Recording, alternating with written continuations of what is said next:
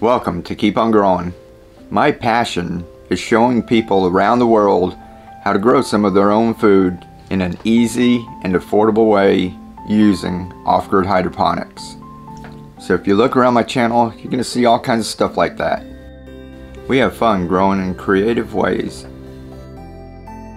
It's a great way to feel a little more self-sufficient and less dependent on the system. And even as I'm growing with hydroponics, I still like my traditional gardening.